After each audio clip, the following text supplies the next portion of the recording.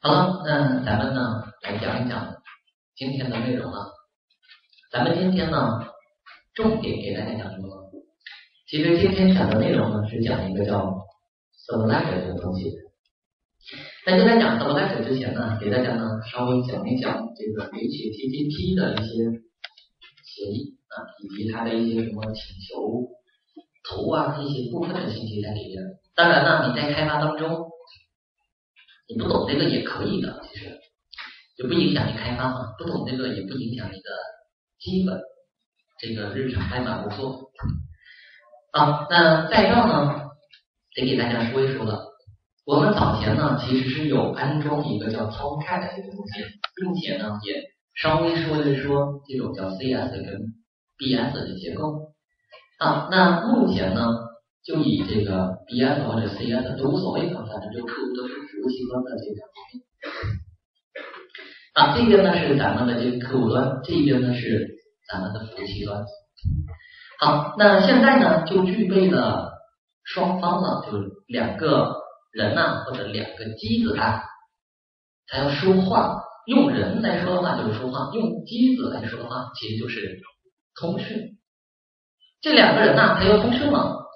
但是这个通信呢，双方呢得先得先约束一下，就好比两个国家领导人打电话了，有些话你是不能乱说的。比如说，哎，这个美国新上任的这个总统给咱们这个习主席打电话，说，哎，你这个工资多少啊？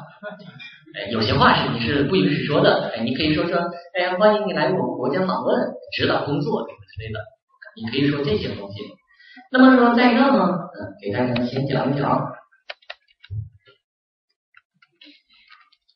HTTP 协议。那先说一说什么是协议啊？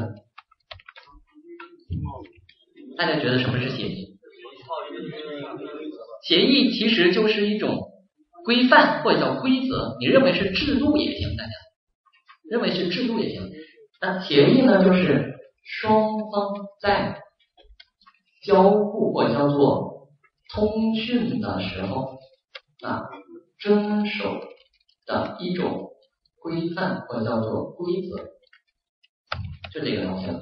那什么是 HTTP 协议啊？什么是 HTTP 协议？那协议跟 HTTP 协议就差了一个差了一个单词啊。那 HTTP 协议呢？其实 HTTP 协议呢，就是针对网络上的。客户端与服务器端在执行 HTTP 请求的时候遵守的一种规范啊，其实就是针对客户端跟服务器端啊约定一下啊，就是你来我这儿的时候，你得带什么东西过来，然后我给你返回数据的时候啊，我也得带什么东西回去，其实就是规定这些东西了，但你不能带别的啊。啊，在这写的，其实就是规定了客户端在访问服务器端的时候要带上哪些东西，服务器端返回数据的时候也要带上什么东西啊？其实就是大家呢相互遵守的一种规范。好，那 HTTP 协议啊。呃在这呢，稍微给大家呢多梳理，稍微说一下它的这个基本的意思啊。那接下来呢，HTTP 协议稍微再多说一点点啊。HTTP 协议啊，它现在使用比较广泛的用的是哪个版本呀？大家？就 HTTP 协议的版本啊，版本稍微说一下，在以前的时候用的呢是1.0，现在用的呢比较广泛的是。一点一的版本，一会儿呢会给大家呢演示出来的啊。啊，那目前呢用的比较多的呢都是一点一啊，这部分不用记笔记啊，就纯听一下就行了。啊，那一点零跟一点一有什么不一样呢？这种不一样，那肯定升级了嘛，是不是这意思？这肯定是升级了，但是它们之间呢啊有一个最大的特点是什么？最大的特点呢是，这个地方一点零版本的是访问啊叫请求数据服务器返回后将会断开连接。哎，什么意思啊？就是这边是客户端，这边是服务器端。他说，哎，我要拿个东西，哥们儿，这服务器呢说好给你，给完之后咱俩就没联系了。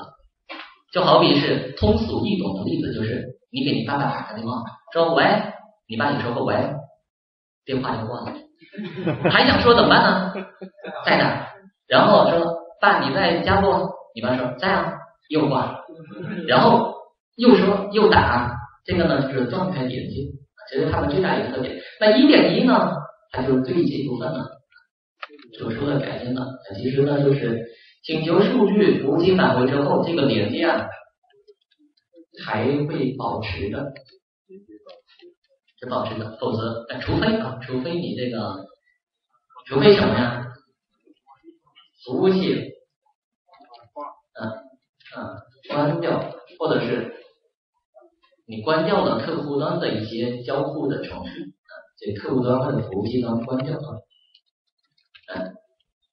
就通俗易懂的例子呢，就是你打电话，要不就你挂，要不呢就是你爸爸挂电话了。那还有没有什么其他情况呢？就我都不挂，你爸也不挂，你也不挂，然后呢，一直直到这个电话的电没了，它就停了。那对于现在这个来说呢，就是有一定的时间限制啊，它过一段时间之后啊，发现你们俩好像都不说话了，哎，那他就。自己断了，好了，嗯，基本了解这些就行了。有一定的时间限制，嗯，如果都控制这个连接啊，那么后面会自己断掉。好了，以上呢就是咱们的这个 HTTP。